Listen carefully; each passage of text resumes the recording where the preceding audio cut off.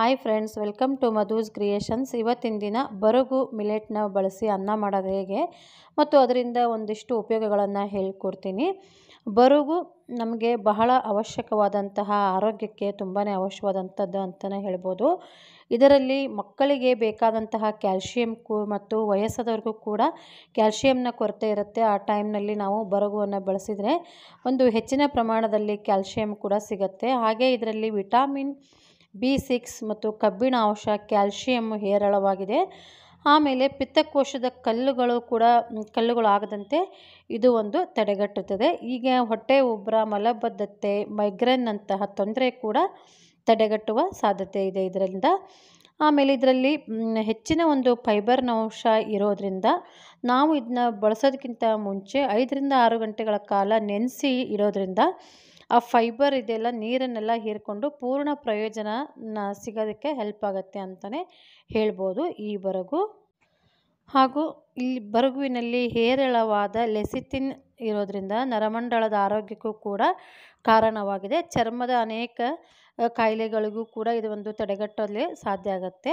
ಈಗ ಇದರದೊಂದು ರುಚಿಯಾದಂತಹ ಅನ್ನ ಮಾಡೋದು ಹೇಗೆ ಅಂತ ನೋಡ್ಕೊಳ್ಳೋಣ. ನಾನಿಲ್ಲಿ ಒಂದು ಕಪ್ನಷ್ಟು ಬರಗು ಮಿಲೆಟ್ನ ನೆನೆ ಇಡ್ತಾ ಇದ್ದೀನಿ. ಕ್ಲೀನಾಗಿ ಒಂದು ಎರಡರಿಂದ ಮೂರು ಸಾರಿ ತೊಳೆದ್ಬಿಟ್ಟು ಒಂದು ಐದರಿಂದ ಆರು ಗಂಟೆಗಳ ಕಾಲ ನೆನೆಸಿಡ್ಬೇಕಾಗತ್ತೆ. ನೀವು ಯಾವುದೇ ಸಿರಿಧಾನ್ಯನ ತಗೊಳ್ಳಿ, ಐದರಿಂದ ಆರು ಗಂಟೆಗಳ ಕಾಲ ನೆನೆಸ್ಬಿಟ್ಟು ಆಮೇಲೆ ಉಪಯೋಗಿಸಿ. ಈಗ ಕ್ಲೀನಾಗಿ ತೊಳೆದ್ಬಿಟ್ಟು ಇದಕ್ಕೆ ಒಂದು ಸ್ವಲ್ಪ ನೀರನ್ನ ಹಾಕಿ ನಾನು ಇದನ್ನ ಐದಾರು ಗಂಟೆಗಳ ಕಾಲ ನೆನೆಸಿಡ್ತೀನಿ. ಆ ನಂತರ, ಐದಾರು ಗಂಟೆ ನಂತರ ಇದನ್ನ ನೀರನ್ನೆಲ್ಲ ತೆಗೆದುಬಿಟ್ಟು ಒಂದು ಮೂರು ಕಪ್ಪು, ಒಂದು ಪಾತ್ರೆಗೆ ನಾನು ನೀರು ಕುದಿಯೋದಕ್ಕೆ ಇಟ್ಟಿದ್ದೀನಿ. ಈ ನೀರನ್ನೆಲ್ಲ ಬಸ್ಬಿಟ್ಟು ಆ ಕುದೀತಾ ಇರೋ ನೀರಿಗೆ ಈ ಒಂದು ಬರಗುನ, ನೆನೆಸಿಟ್ಕೊಂಡಿರೋ ಬರಗನ ಹಾಕಿ ಬೇಯಿಸ್ಕೊಳ್ಳೋಣ. ನಾನಿಲ್ಲಿ ಒಂದು ಕಪ್ಪಿಗೆ ಮೂರರಷ್ಟು ನೀರು ಹಾಕಿದ್ದೀನಿ. ಇದನ್ನು ನಾನು ಬಸ್ತು ಕೂಡ ಮಾಡಬಹುದು ಅಥವಾ ಹಾಗೆ ನೀರನ್ನು ಇಂಗಿಸಿ ಕೂಡ ಮಾಡ್ಬೋದು. ನಾನಿಲ್ಲಿ ನೀರನ್ನು ಬಸ್ತು ಮಾಡ್ತಾಯಿಲ್ಲ ಹಾಗೆ ಮಾಡ್ತಾಯಿದ್ದೀನಿ ಅದಕ್ಕೋಸ್ಕರ ಒಂದು ಲೋಟ ಅಕ್ಕಿ, ಬರಗು ಅಕ್ಕಿ ತೊಗೊಂಡ್ರೆ ಅದಕ್ಕೆ ಮೂರರಷ್ಟು ನೀರು ಹಾಕಿದ್ದೀನಿ. ಬರಗು ಅಕ್ಕಿ ಅಥವಾ ಬರಗು ಸಿರಿಧಾನ್ಯ. ಇದು ಮೂರರಷ್ಟು ನೀರು ಹಾಕಿದ್ದೀನಿ. ಚೆನ್ನಾಗಿ ಕುದಿಲಿ ಇದು. ನಿಮಗೆ ತೋರಿಸ್ತೀನಿ. ಈಗ ಒಂದು ಪ್ಲೇಟ್ನ ಮುಚ್ಚಿ ಇದನ್ನ ಬೇಯೋದಕ್ಕಿಡ್ತೀನಿ. ಈಗ ನೋಡೋಣ ಹೇಗಾಗಿದೆ ಅಂತ. ಒಂದು ಹತ್ತು ನಿಮಿಷ ಟೈಮ್ ತೊಗೊಳ್ತಿದ್ದು. ಸುಮಾರು ಹತ್ತರಿಂದ ಹನ್ನೆರಡು ನಿಮಿಷ ಟೈಮ್ ತೊಗೊಳುತ್ತೆ. ಇನ್ನೊಂದು ಸೊ, ಕೆಳಗಡೆ ಒಂದೊಂದು ಸ್ವಲ್ಪ ನೀರು ನೀರು ಥರ ಇದೆ. ಇನ್ನೊಂದು ಸ್ವಲ್ಪ ಬೇಯಲಿ ಫುಲ್ ಲೋ ಫ್ಲೇಮ್ನಲ್ಲಿ ಇದನ್ನ ಬೇಯಿಸೋದಕ್ಕೆ ಇಡ್ತೀನಿ. ಹಾಗೆ ಇನ್ನೂ ಒಂಚೂರು ಚೂರು ಗಟ್ಟಿ ಅಂತ ಅನ್ನಿಸ್ತಾ ಇದೆ. ಈ ಕೈಯಿಂದ ನಾವು ಬೆರಳಿನಿಂದ ಈಗ ಹೆಚ್ಚಿಗೆ ನೋಡಿದಾಗ ಒಂದು ಚೂರು ರವೆ ರವೆ ಥರ ಬರ್ತಾಯಿದೆ ಕೈಗೆ ಹತ್ತಾ ಇದೆ. ಸೊ, ಇನ್ನೊಂದು ಸ್ವಲ್ಪ ಇದನ್ನ ಬೇಯಿಸ್ಕೊಳ್ಳೋಣ. ಕೆಳಗಡೆ ಇನ್ನೂ ನೀರಿದೆ ಇದಕ್ಕೆ. ಈಗ ಮತ್ತೆ ಒಂದು ನಾಲ್ಕರಿಂದ ಐದು ನಿಮಿಷದ ನಂತರ ಇದನ್ನ ನೋಡ್ತೀನಿ ನೋಡಿ. ಚೆನ್ನಾಗಿ ನೀರೆಲ್ಲ ಹಿಂಗಿದೆ ಹಾಗೆ ಉದುರು ಉದುರಾಗಿ ಕೂಡ ಚೆನ್ನಾಗಿ ಬೆಂದಿದೆ.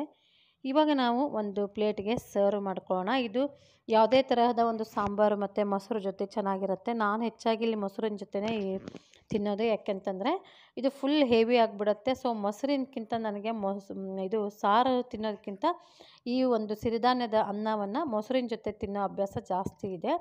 ನೋಡಿದ್ರಲ್ಲ ವೀಕ್ಷಕರೇ, ಎಷ್ಟು ಸುಲಭವಾಗಿ ನಾವು ಈ ಅನ್ನನ ಮಾಡ್ಬೋದು. ಆರೋಗ್ಯಕರವಾದಂತಹ ಈ ರೆಸಿಪಿ ನಿಮಗೂ ಕೂಡ ಇಷ್ಟ ಆಗಿದೆ ಅಂತ ಅಂದ್ಕೊಂಡಿದ್ದೀನಿ ಹಾಗೆ ನಾನು ಹೇಳಿರುವಂತಹ ಒಂದು ಬರುಗುವಿನ ಮಾಹಿತಿ ಕೂಡ ಇಷ್ಟ ಆಗಿದ್ದರೆ ಪ್ಲೀಸ್ ನಿಮ್ಮ ಫ್ರೆಂಡ್ಸ್ಗೆಲ್ಲ ವಿಡಿಯೋನ ಶೇರ್ ಮಾಡಿ. ವಿಡಿಯೋ ನೋಡಿದ ಎಲ್ಲರಿಗೂ ನಮಸ್ಕಾರ. ಧನ್ಯವಾದಗಳು.